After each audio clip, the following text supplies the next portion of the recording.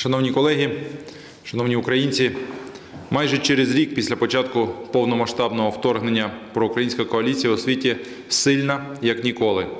Військова, фінансова, політична допомога від наших партнерів не просто не зникла, а продовжує зростати. Союзники України розуміють важливість нашої перемоги в цій війні, важливість для Європи та всього цивілізованого світу. Вчора відбувся історичний візит до Києва президента Сполучених Штатів Америки. Перший за 15 років і найважливіший в історії незалежної України. Джозеф Байден на зустрічі з президентом Володимиром Зеленським заявив про абсолютну підтримку України. Ми вдячні за цей чіткий сигнал для всього світу. Сигнал не лише союзникам, але й нашому ворогу про те, що йому ніколи не перемогти в Україні. Під час зустрічі з президентом Байденом та його командою в широкому форматі ми обговорили багато питань про нашу співпрацю, зокрема і про фінансову підтримку України. Порушувались питання швидкого відновлення, на яке Сполучені Штати спрямовують півтора мільярди доларів, а також виділення понад одного мільярда доларів на підтримку енергетики України та Молдови.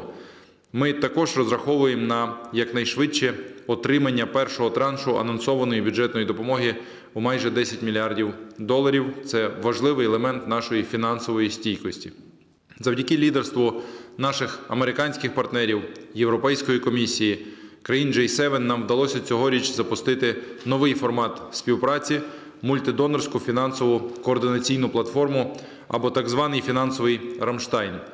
Ключові цілі зустрічі в такому форматі допомога України у фінансуванні дефіциту бюджету, початок реалізації програми відбудови вже цього року, страхування військових ризиків для бізнесу, конфіскація та використання заморожених російських активів та інший широкий спектр фінансових та економічних питань.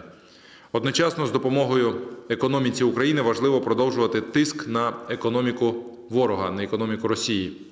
Тому ще одним пунктом вчорашніх переговорів стали антиросійські санкції. Зараз для нас важливо, аби ядерна галузь Російської Федерації і державна компанія Росатом перестали бути гаманцем для продовження цієї війни.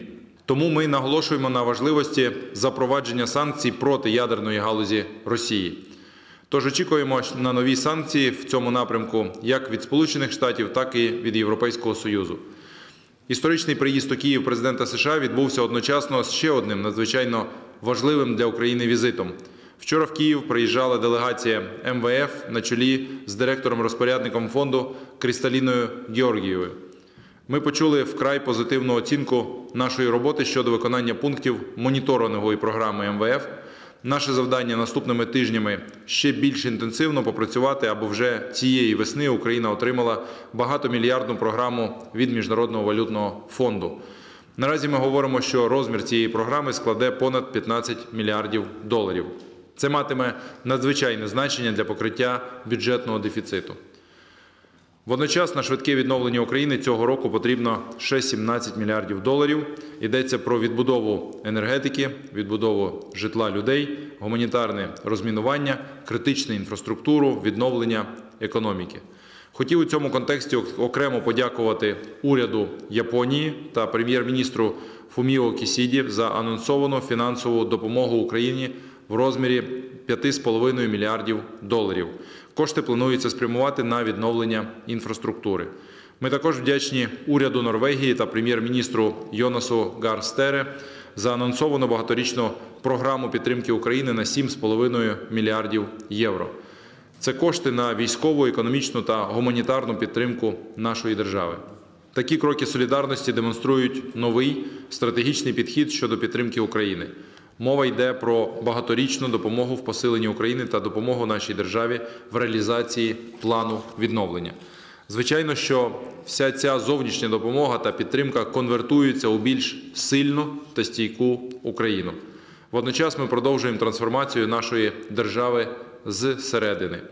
Три ключові елементи антикорупційної стратегії уряду це діджиталізація, дерегуляція та зменшення ролі держави в економіці.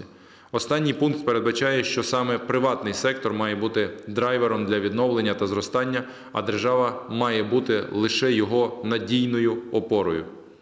Тому уряд продовжує реформу корпоративного управління та приватизацію. Лише від початку року в межах так званої малої приватизації на відкритих аукціонах держава залучила 747 мільйонів гривень, а підприємці з усієї країни отримали можливості для розвитку своєї справи. Уряд затверджує порядок проведення електронних аукціонів під час великої приватизації. Робимо процес більш прозорим, конкурентним і результативним. І наостанок енергетика. Дефіциту потужності в енергосистемі немає вже 10-й день поспіль і не прогнозується за умови, що не буде нових атак. Тому хочу ще раз подякувати енергетикам і особливо ремонтним бригадам, які зробили і роблять неймовірну роботу. Працюємо далі, працюємо задля нашої перемоги, задля нашої відбудови, задля мирної, сильної європейської України.